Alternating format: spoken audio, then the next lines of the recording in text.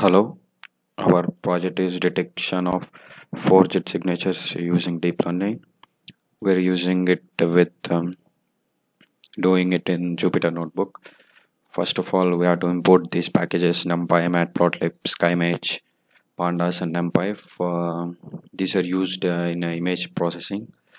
Uh, NumPy is used for uh, mathematical operations. Uh, we're using for calculations like that, and um, pandas we're using for data visualization and we are using uh, matplotlib import matplotlib package uh, for uh, 2d plots of arrays which is used for plotting arrays and skimage it is used for it's a package used for uh, image pre-processing and we're using TensorFlow which is the most important uh, package TensorFlow. We have to set up this uh, TensorFlow environment in our Anaconda navigator which is most important one uh, while running it. Mm, it can be imported um, as a TensorFlow package as TF which is uh, used it's a deep learning technique machine learning technique which is used to uh, develop and train models. Uh, it will the image will uh, uh, learn uh, the shape the size how the image is varying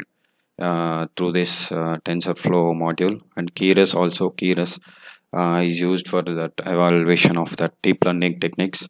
And um, these are the packages. We can uh, run that first. It will take a little bit of time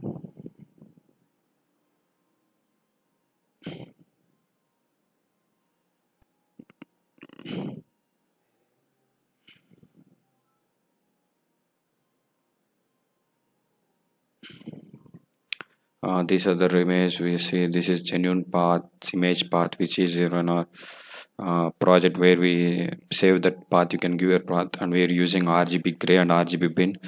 RGB gray to convert into grayscale and RGB bin to remove that. We'll have that uh, image more fits for more uh, clarity of image and to remove the noise components like that. And uh, pre-pros pre-proc we use that is used for to run this after that. Yes pre-proc this is used for um, the cropped image of uh, signature. It will display that image and it will uh, crop the part of the image and with it the good position of pixels and uh, on the image. Then the ratio. Uh, ratio and centroid of the image we calculate these all are the pre-processing which is done the images eccentricity of solid so eccentricity solidity. And uh, kurtosis uh, kurtosis is um, used for peaks and lows of the image how the image is varying from top to bottom or how it's varying from it will learn all these uh, about the image more about the image. That is kurtosis will run that. And the features we what all the features we have gathered we'll get that features in a folder we run that and we store that in a, as a csv file in an excel file we show that in a csv file. Mm. these are the files if this path is not exist we create these uh, folders called features of training and testing. These three these three folders will be created in where you given the path. There that's where the values of all these uh, images will be stored each image uh, that's where we store them. We'll run it. Now we see this makes csv files what all the you have to calculate the eccentricity ratio centroid these all features will be saved by person by person as an id uh, in a folder. We'll run that. It will take a little bit of time. Uh, see the same features for uh, id 1001 that means these are the uh, images what we have gathered and here see the features and features is the folder. In that we have the testing and training folder where the features will be added in a csv file. One on wall will be added right now. Uh, that's it still running. It will take that time. The one one one on one features of all um, person will be saved like eccentricity solidities kurtosis it, uh, it will learn all about the images we're given that uh, path right? Uh, about that genuine and forged path. These are the images we have given. We have added our old images also on images also. These are our images. Our signs and some uh, general data sets we have carried. These are our first three IDs or our our images. Real forged these are our images too mm, from this we'll learn about these images. The using that um, TensorFlow we'll learn more about the images. It save that features. And when we give the path uh, it will uh, it will learn about them. And it compares what uh, what is what what is what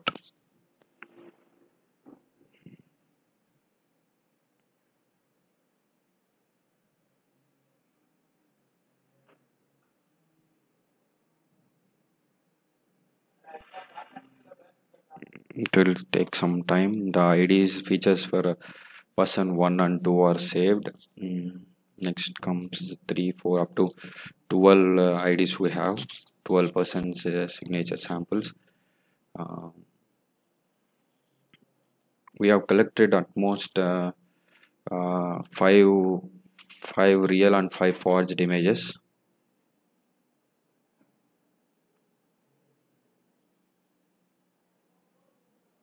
see this is the real and forged images. Uh, for real we have collected five. That means it will uh, learn about that uh, five images and stores the features in that csv file. Similarly for forged as well so that um, the same person uh, can learn more about the same person uh, uh, features. So we're giving not only only not a single signature we're giving multiple signatures so that it can learn about that uh, more about that image like um, how the it's wearing that uh, how the letters are wearing that peaks and lows how are they wearing? To learn more about them. Now the id3 also saved. Take some time because you need to learn more about that uh, image. So it will uh,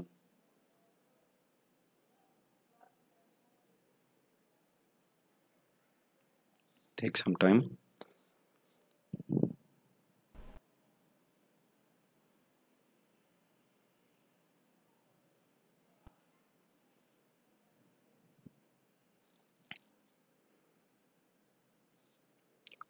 id3 is also saved uh, right now.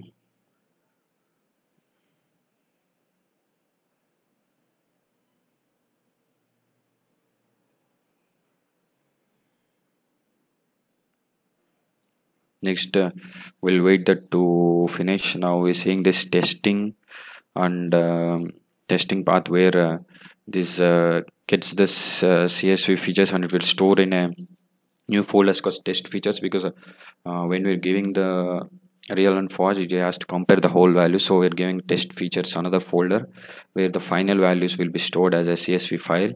Next um, this is um, we're uh, getting that uh, output what we required uh, enter person's id the path of signature image and um, train path and test path. That means uh, the features of training and testing where it will be stored. We're getting that path and we'll read that uh, csv values and uh, we'll store that in a csv file. Next we'll uh, store see about that um, values of it.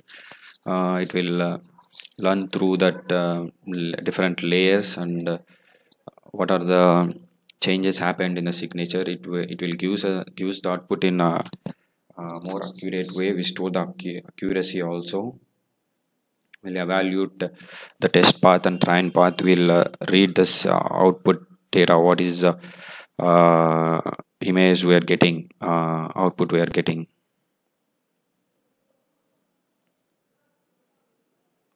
Mhm, if we complete this testing we can uh, say uh, features we can run with it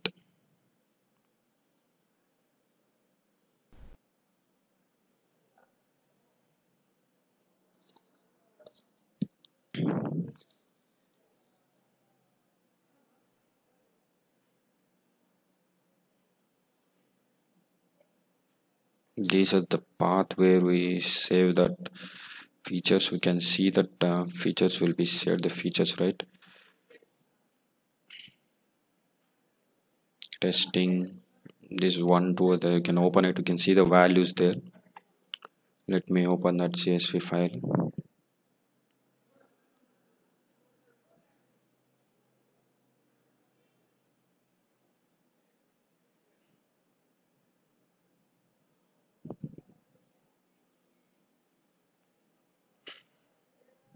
it will show the value you can uh, run it values. It is previously run this 4 5 6 and it will now store. It will uh, see these are the values.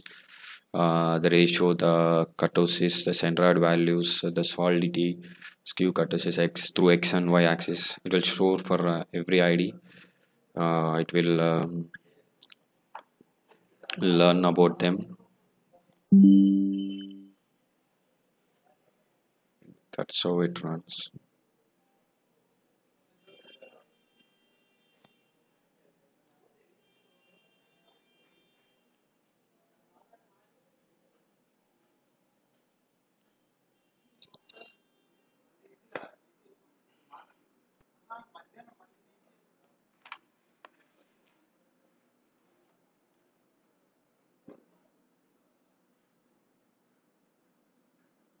similarly we can see for id2 and id3 also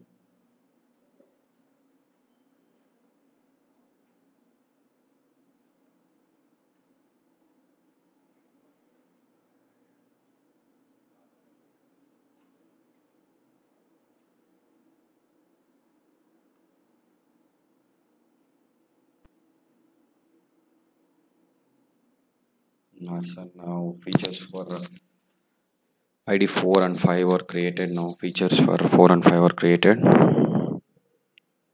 Now 6 has been created. It will learn about that features uh, of the image and it will store in that um, features uh, folder. Total 12 are there. For each we are given 5, as I said, 5 real and 5 forged.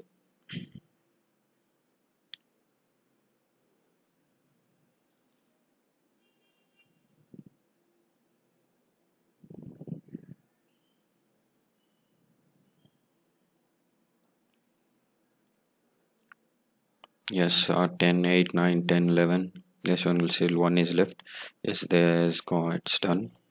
Up to 12 the features has been saved. Now we'll run the testing path of that features which will be stored. Yes now the final one. We'll run this. Yeah this is we'll ask the id about it. We given 12 id 001 now. Enter. Now the path we have to give the path of it which we can get here. The real real is this path. We can give the path here by copying it there. Real. And we give the image these are the 001 001 underscore these are real images. Uh, we'll give that 001 001 underscore 001 dot png uh, this is the file path. It will uh, check about the path and it will give the output. Yes it's given a genuine image. It's a genuine image of id1 uh, this is the, this is how we get the required output. Uh, you can see that accurately we're getting the results. Can we'll run it again for a forged uh, image yes 001 now to the path. We need to get the forged image path for id. We'll get that get the forged image. We'll get the forged image. We'll uh, paste it here. Let's go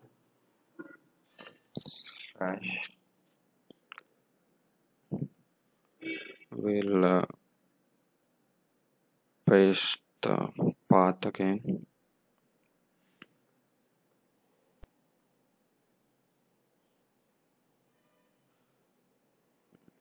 Yes we paste it